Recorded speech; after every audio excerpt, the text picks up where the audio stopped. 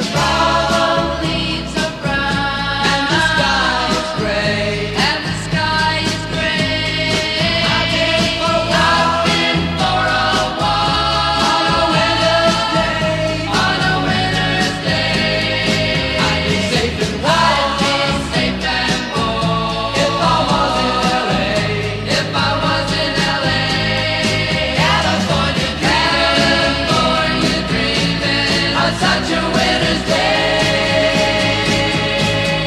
stopped into a church.